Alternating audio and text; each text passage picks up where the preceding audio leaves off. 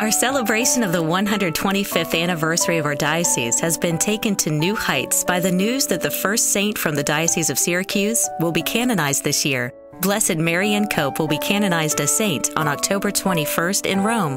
The saints are examples for us of people who have lived their lives successfully, uh, recognized their role in life, uh, depended upon the gifts that God has given them, and shared those gifts with other people.